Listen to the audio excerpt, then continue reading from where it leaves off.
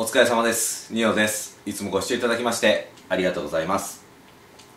はい今日はですね仕事が早く終わりましたんでね。えっ、ー、と帰宅した後 DAS702ES でね遊んでいました。でまあ今日撮ったものをそのまま今晩、えーと、出す感じなので、えーと、1曲だけ1曲だけね聴いてもらおうと思います。でまあ DAS702ES のね中身はこんな感じです写真をね今貼り付けますけどこんな感じです結構よくできておりますでまあこんなにねなんなかったんじゃないかなとは思ってたんですが久々にね聞いたらねえっ、ー、と結構良かったんで1曲だけね聞いていこうかなと思います。はい。えっ、ー、と、週末、週末にはね、えっ、ー、と、こちらの DA コンバーターをね、えっ、と、オペアンプ、オペアンプ比較をね、やりますんで、えっ、と、ぜひともね、そちらに投票いただければと思います。はい。えっ、と、今日はですね、DAS702ES で B1 と D70、えっ、と、CD、CD720 トランスポートとしてね、使って再生していきたいと思います。よろしくお願いします。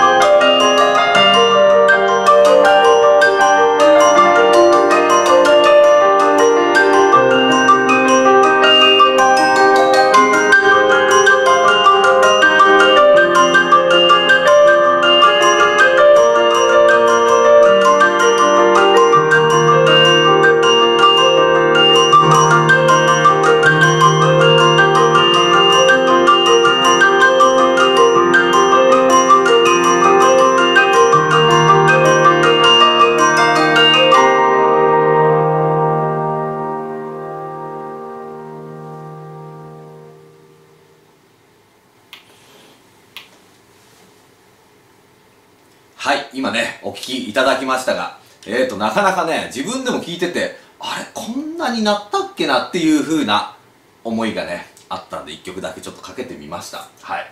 えーと、最近これのね、動画を作ってて、この DAC のね、動画を作ってたんですけど、こればっか聞いてたんで、やっぱメーカー製のね、この安定の音、えっ、ー、と、やっぱ下からうなり出るような低音がね、やっぱ魅力的ですね。えっ、ー、と、やっぱね、攻撃は垢抜けないですが、まあ、それは仕方ないですね。はい。えっ、ー、と、そんなわけでですね、DAS702 が、えっ、と、今日はね、これで終わりとなります。はい。えっ、と、今週の土曜日、土曜日ですね、えっ、と、19時から、こちらの DA コンバーターのオペアンプ比較、えっ、と、3種類をやりますんで、えー、とそれを聞いていただきまして、えー、ぜひともね、えー、っと、投票の方していただけたら嬉しいです。はい。えー、っと、2週連続で、とりあえず予定では行います。えっと、比較をですね。えっと、その中で、えっと、戦いながら、えっ、と3回目もその比較をやって合計10個ぐらいのオペアンプを比較した後にえっとそれで皆さんに選んでもらったものの1番をこちらに突っ込みまして今度 DA コンバーター同士でね対決させます。はい。えーっとねまあ古いものしか持ってなくてねもうほとんどゴミみたいなものばかりですがはい。えーっと遊んでいけたらいいかなと思っております。はい。今回はご視聴いただきましてありがとうございました。